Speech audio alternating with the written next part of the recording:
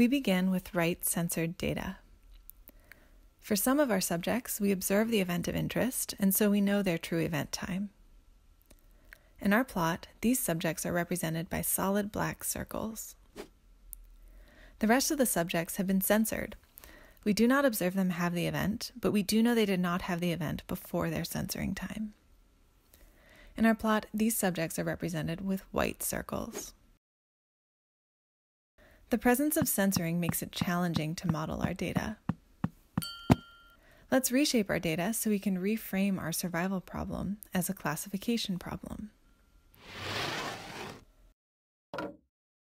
For the first observed event time, we construct a risk set data matrix and outcome vector.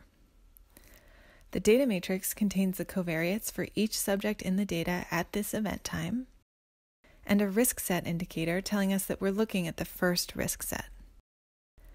Our outcome vector tells us which subject had the event at this time.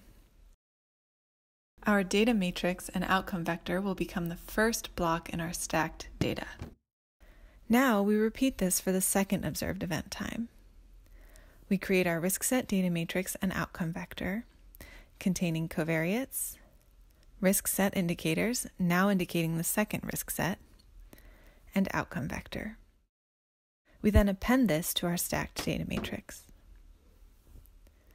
And we continue this process for every observed event time in our data.